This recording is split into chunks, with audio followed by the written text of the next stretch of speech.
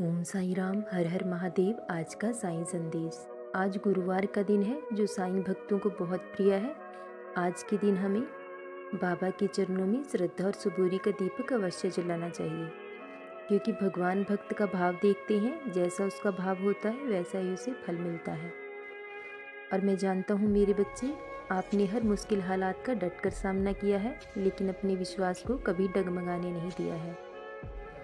मैं जानता हूँ कि इस बुरे समय ने सब कुछ आपसे छीन लिया है।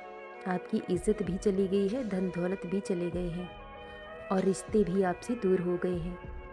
लेकिन अपने बाबा पर विश्वास रखो, क्योंकि मैंने तुम्हें हर मुश्किल हालात से लड़ते देखा है और अपने विश्वास को कभी टूटने नहीं दिया है तुमने। दुनिया के सामने कभी अपनी हिम्मत को टूटने नहीं दिया है और तुमने अनुभव भी किया है कि तुम्हारे पास धन की एक पाई भी ना हो लेकिन फिर भी तुम्हारे किसी भी काम को तुम्हारे बाबा ने कभी रुकने नहीं दिया है।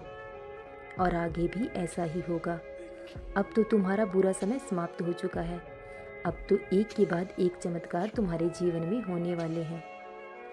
जिस काम को लेकर तुम इतने दिनों से, इतने महीनों से मेहनत कर रहे हो, आज उसका परिणाम तुम्हें मिलने वाला है।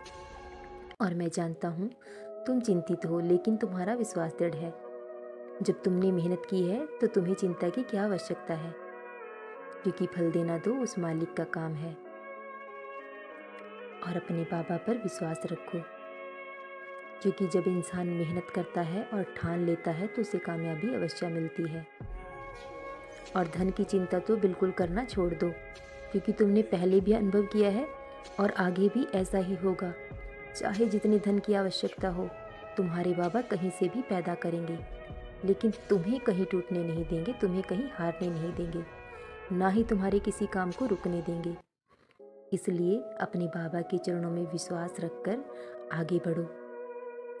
और जो परिणाम तुम्हारे सामने आने वाला है, उसके लिए तैयार रहो, क्योंकि बहुत बड़ी खुशखबरी है।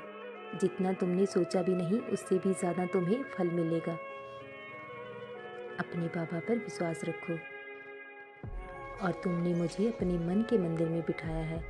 इस बात की चिंता मत किया करो कि समय के अभाव में तुम मंदिर नहीं जा पाते हो या पूजा पाठ ढंग से नहीं कर पाते हो। अपना कर्म अच्छे से करते रहो, वही मेरी पूजा पाठ है।